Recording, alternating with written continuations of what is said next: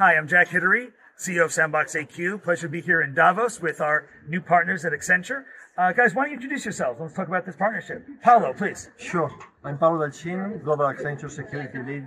Super excited to be in Davos with uh, Sandbox AQ to announce our great uh, new partnership that is all about uh, AI and quantum security.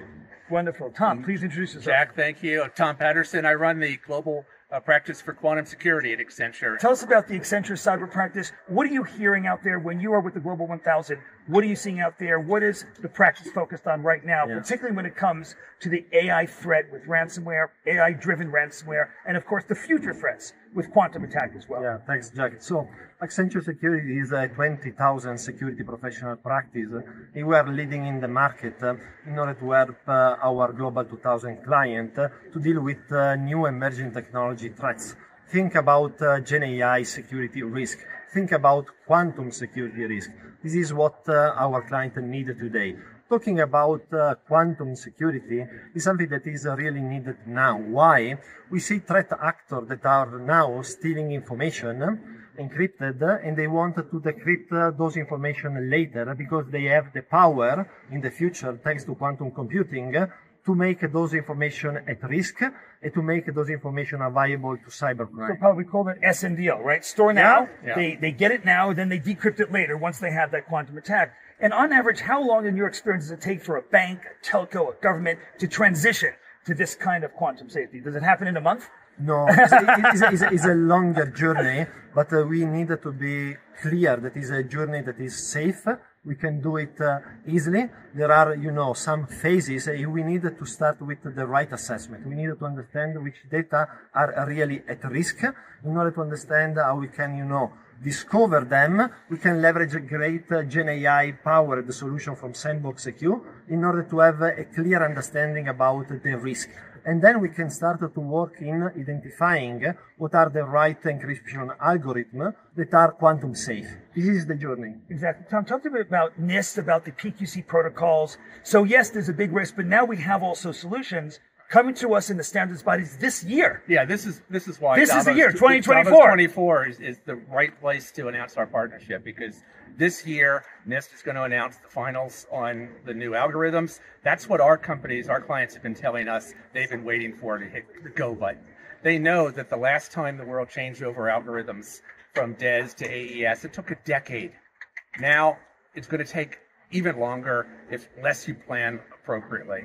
By getting ahead of the problem and starting today, you do two things. One, you set yourself up so you don't worry when that headline comes out and says your adversary can now decrypt all of your data, and you're saying, "Oh, it's okay, boss. We're we're cool." The other thing, though, there's these other benefits of security now. Against you keep mentioning ransomware. Absolutely, someone is going to use Gen AI to trick somebody in the organization to get in when they press that in and they start to launch their ransomware, it would be nice to make sure that we've already updated and checked all the security, all the cryptography that's being used so that it's not easily destroyed. That's a, a, side benefit, but a huge benefit for companies today. So, just to make that even more clear to the audience listening to us today, when we talk about ransomware, already it's a major issue. It's a major issue. They're bringing banks down. Hospitals have been shut down in Europe and the U.S. Literally cannot accept more patients because they've been held with ransomware. They have to send millions of dollars in Bitcoin to unlock their hospital. It's happening all over the world.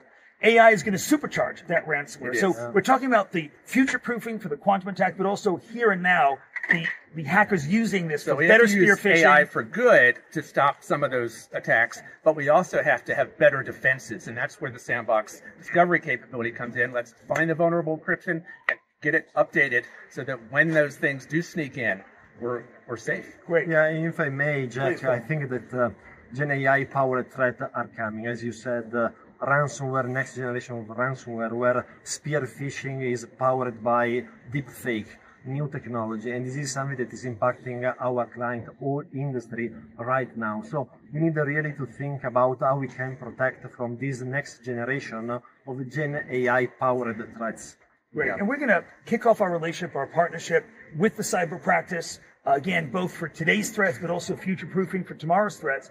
But now let's turn just for a moment on the other uses of AI.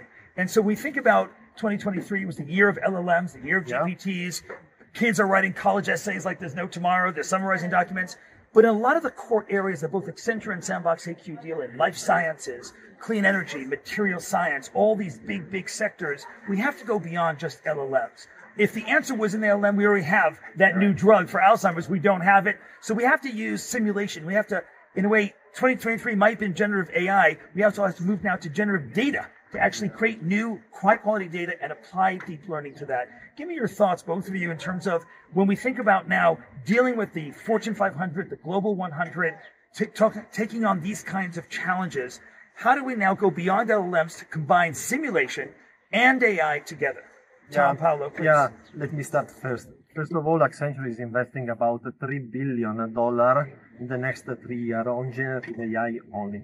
So we want really to help all the industry to understand how they can reinvent uh, their business. Uh, it's not just about a small change; it's uh, really a total reinvention.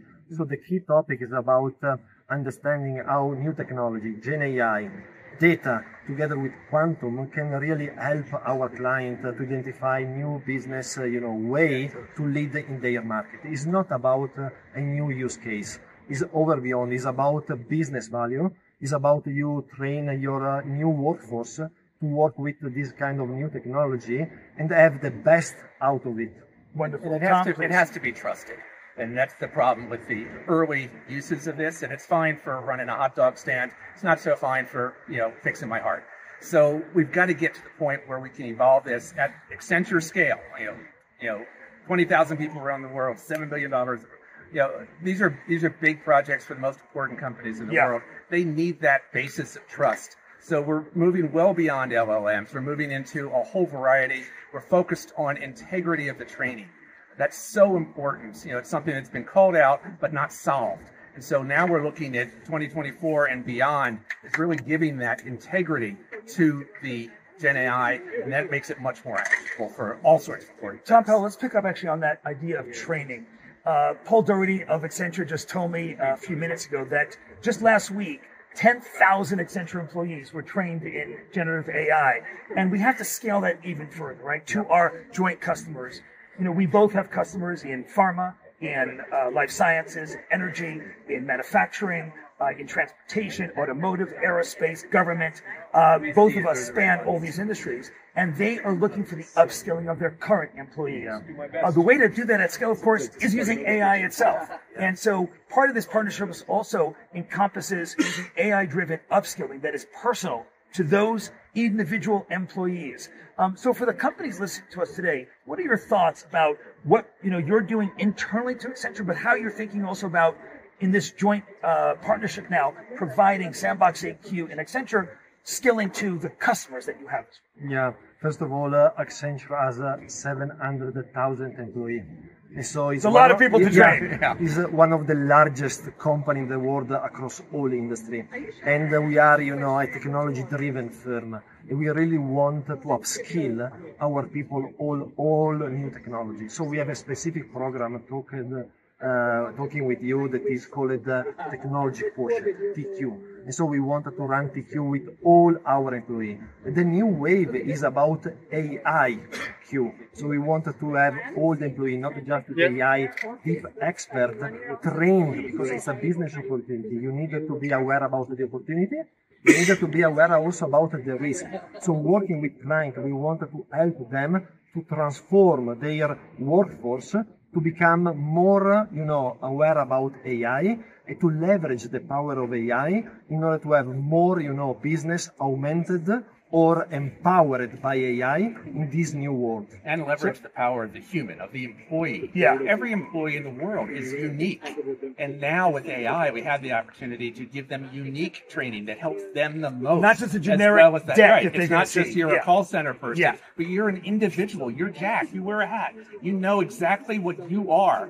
And so by customizing the training there, we get the most out of employees and get the most for the business. So TQ for AQ. Yes. exactly. Love it. exactly. Excellent. So to wrap up, um, it's very exciting. We announced this today here in Davos uh, with the beautiful mountains behind us. But I think actually the mountains are relevant because of the big picture thinking that being in the mountains uh, does help. People go to nature, they go to nature to think big, to think about global impact. And I think that's the spirit of nature to us, and I think to you as well, as well of this partnership. Maybe close with some thoughts on the global nature, not just US, not just a few countries in Europe, but thinking about the global impact that we can have together. Yeah.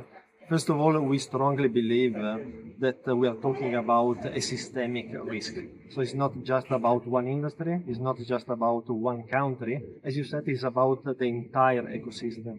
So we are so happy about uh, our partnership because it's a global scale partnership in order to address the quantum security global risk at scale with our client. And they really know who are the best partner I, I am having uh, this week uh, multiple client conversation and everyone is asking about how I can deal with uh, AI, how I can deal with uh, quantum, how I need to address the related security risk. The cyber. And, yeah. the answer is easy. It's Accenture Security plus Sandbox AQ. There you go. Excellent. Tom, any final thoughts? Again, it's this is web, this is Davos, this is inclusive, this is the whole world.